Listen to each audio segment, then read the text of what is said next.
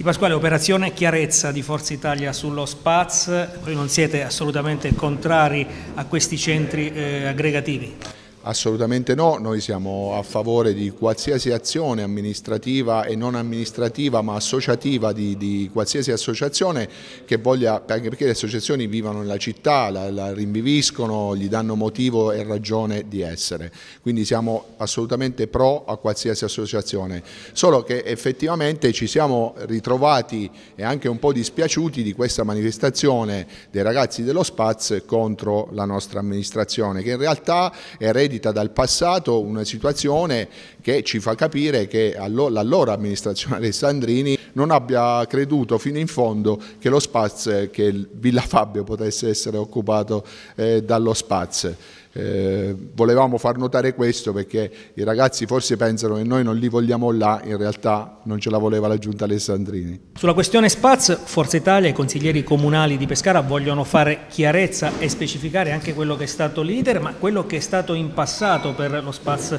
di Pescara quando eh, c'era l'amministrazione Alessandrini. Sì, come abbiamo già detto in altre sedi, eh, noi abbiamo essendo, essendo neoconsiglieri eletti e quindi non conoscendo la storia e la genesi di tutta questa situazione abbiamo fatto giustamente una ricerca dettagliata dei documenti che hanno portato alla, alla concessione delle, degli spazi attualmente utilizzati dall'Associazione dello Spaz. L'intento e ciò che volevamo noi precisare come Forza Italia è che noi come gruppo consigliare non siamo assolutamente contrari a destinare spazi ed immobili ad associazioni culturali ed associazioni che, hanno, eh, che svolgono attività aggregativa, eh, ricreativa e culturale all'interno della, della, città di Pescara. Giustamente riteniamo che eh, la eh, concessione degli spazi e degli immobili debba essere fatta rispettando tutte quante le regole imposte dal Comune e dalle leggi